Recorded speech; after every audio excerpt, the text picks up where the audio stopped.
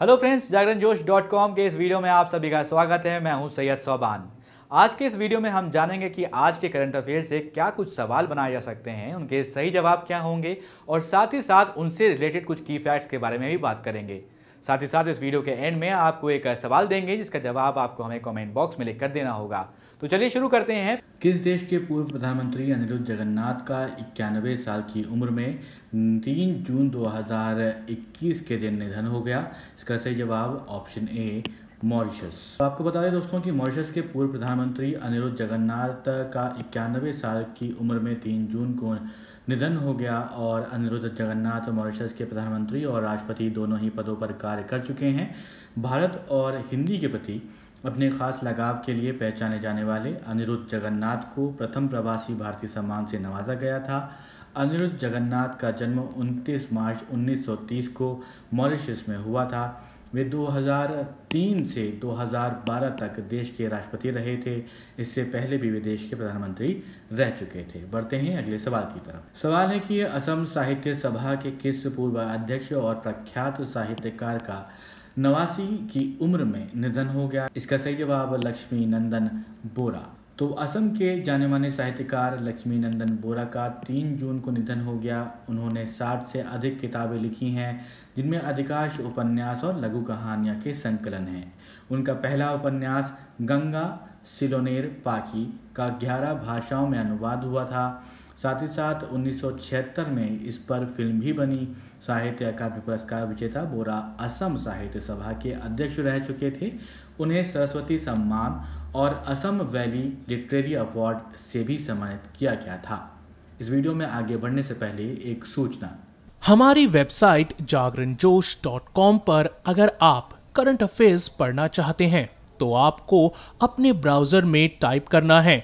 www.jagranjosh.com जिसके बाद आपको हमारी वेबसाइट का होम पेज नज़र आएगा। इसके बाद आपको करंट अफेयर्स के टैब पर जाना है। जब आप करंट अफेयर्स टैब पर क्लिक करेंगे तो आपको कुछ इस तरह से पेज नज़र आएगा। अगर आप कैटेगरी वाइज करंट अफेयर्स पढ़ना चाहते हैं तो आप अपनी पसंद के हिसाब से कोई भी कैटेगरी चूज़ कर सकते हैं, जिसमें latest national international sports technology और इकोनॉमी जैसी कैटेगरीज मौजूद हैं। बढ़ते हैं अपने अगले सवाल की तरफ़। फोर्ब्स की तरफ़ से जारी ताज़ा रैंकिंग में सर्वाधिक कमाई करने वाले 100 खिलाड़ियों की सूची में किस एकमात्र भारतीय खिलाड़ी को एक सौ सत्तानबे करोड़ रुपए कमाई के साथ फिफ्टी नंबर पर रखा गया है? उनको फिफ्टी नंबर प्राप्त हुआ है तो उसका सही जवाब है ऑप्शन डी, विराट कोहली। तो भारतीय कप्तान विराट कोहली लगातार पाँचवें साल फोर्ब्स की सर्वाधिक कमाई वाले शीर्ष सौ खिलाड़ियों में शामिल एकमात्र क्रिकेट खिलाड़ी हैं और पिछले साल सिक्सटी सिक्स रैंक पर रहने वाले कोहली इस बार सात पायदान की छलांग लगाकर फिफ्टी नाइन्थ नंबर पर पहुँच चुके हैं और उनकी कमाई में करीब बत्तीस करोड़ रुपए का इजाफा हुआ है।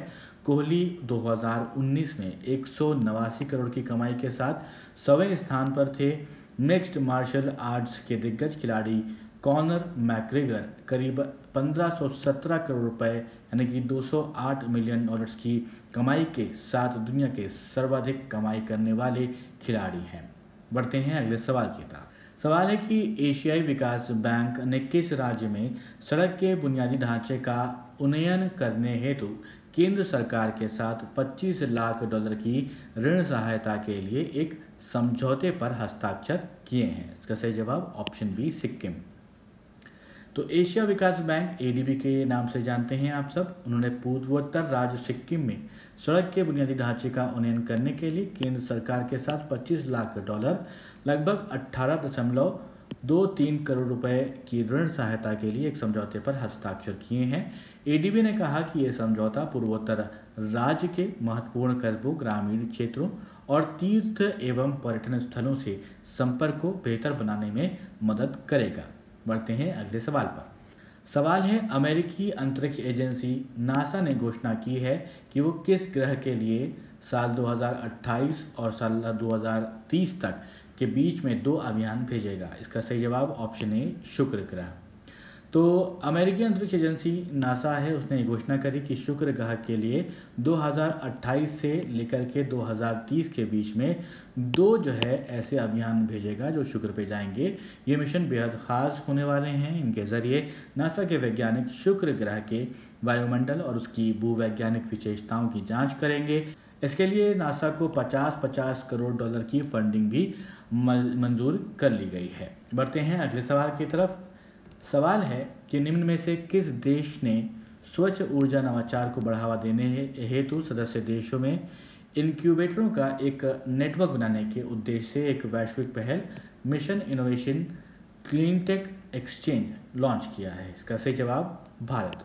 तो भारत ने स्वच्छ ऊर्जा नवाचार को बढ़ावा देने के लिए सदस्य देशों में इनक्यूबेटरों का एक नेटवर्क बनाने के उद्देश्य से वैश्विक पहल, जिसका नाम है mission innovation clean tech exchange इसको लॉन्च किया है। स्वच्छ ऊर्जा को दशकों तक किफ़ायती, आकर्षक और सुलभ बनाने के उद्देश्य से और पेरिस समझौते और शुद्ध शून्य उत्सर्जन की दिशा में कार्रवाई को आगे बढ़ाने के उद्देश्य से ये मिशन शुरू किया गया है।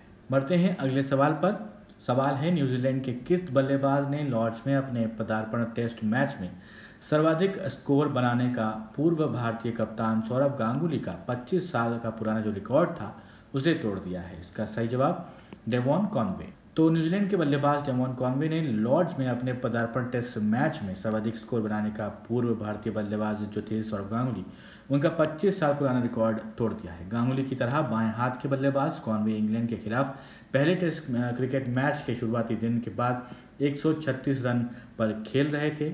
इस बीच उन्होंने गांगुली के 131 रन के रिकॉर्ड को पीछे छोड़ दिया है। भारतीय क्रिकेट बोर्ड, बीसीसीआई के वर्तमान अध्यक्ष गांगुली ने उन्नीस सौ छियानबे में लॉर्ड्स में टेस्ट क्रिकेट में पदार्पण किया था और 131 रन बनाए थे, लेकिन अब उनका ये रिकॉर्ड टूट चुका है। डेवॉन कॉनवे ने रिकॉर्ड तोड़ दिया है। अब वो सवाल जिसका जवाब हमने आपसे पिछले वीडियो में पूछा, अंतर्राष्ट्रीय बाल रक्षा दिवस निम्न में से किस दिन मनाया जाता है? इसका सही जवाब ऑप्शन बी, एक जून।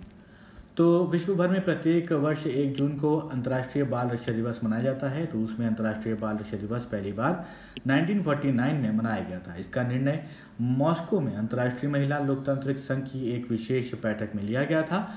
एक जून 1950 को विश्व के इक्यावन देशों में अंतर्राष्ट्रीय बाल रक्षा दिवस पहली बार मनाया गया था। इसका उद्देश्य बच्चों के अधिकारों की रक्षा करने की ओर लोगों का ध्यान आकर्षित करना है। अब दोस्तों, एक सवाल आपके लिए, जिसका जवाब आपको हमें कमेंट बॉक्स में लिखकर बताना है। नीति आयोग ने एसडीजी यानी कि sustainable development goals India index 2020 और 21 में निम्न में से किस राज्य ने अपनी शीर्ष स्थान को बरकरार रखा है? आपके ऑप्शंस बिहार, पंजाब, झारखंड या फिर केरल। अपने जवाब आप कमेंट बॉक्स में लिखकर बताएँ, ये वीडियो पसंद आया हो तो इस वीडियो को लाइक करें, इस वीडियो को शेयर करें अपने दोस्तों के साथ और अभी तक आपने हमारे चैनल को सब्सक्राइब नहीं किया है तो ज़रूर सब्सक्राइब भी करें और देखते रहें जागरण जोश डॉट कॉम।